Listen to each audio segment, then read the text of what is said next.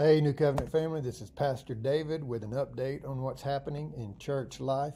Glad you've tuned in. Let's get started. First of all, I want to let you know that groups have started up for our fall semester. Uh, if you're not plugged in or connected to a group, I strongly encourage you to get involved in one. Um, it's how you build relationships and how you grow spiritually and journey through life together, finding encouragement, protection, and support.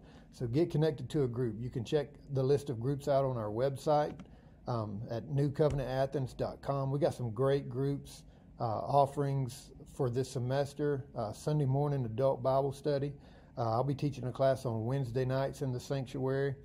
Uh, we've got a fresh peace support group for women uh, with uh, who are involved in recovery. We got a hiking group, Joy's Bingo, the fourth Thursday of the month.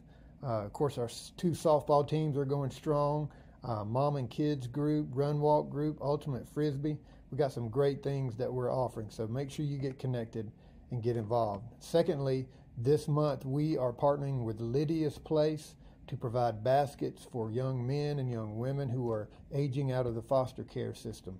Again, you can go to our website and click on the Lydia's Place banner, and you can see a list of all of the things you can either uh, buy buy individual items and bring them, drop them off at the church, or you can make up an entire basket if you like. So partner with us and uh, help us make a difference in the lives of young people in our community.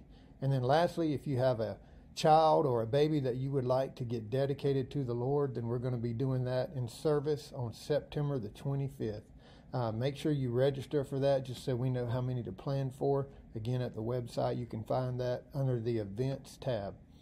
We're glad to have you join me. I'm excited about what's going on in our church, God's blessing and moving among our people. We're seeing increase, and we want to see you grow, we want to see you blessed.